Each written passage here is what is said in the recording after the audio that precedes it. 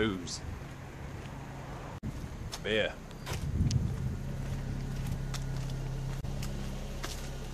Vino. Drink your poos. So in this video I'm gonna talk to you about old drinking through the week because it's not doing you any good.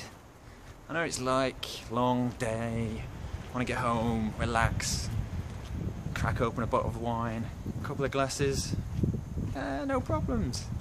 Well, it is a problem if you're trying to lose weight.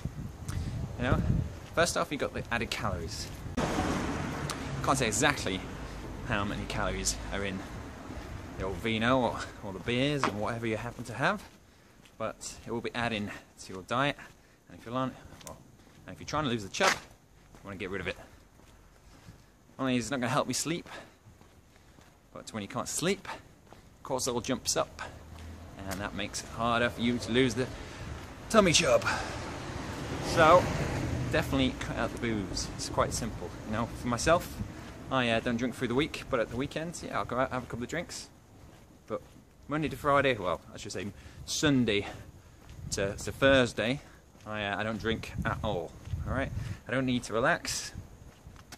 Um, I'm quite chill that guy, and uh, you shouldn't get into the habit of, uh, of drinking during the week anyway.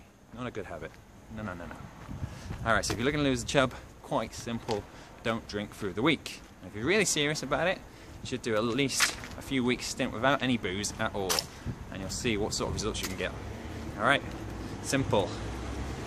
Catch you next time.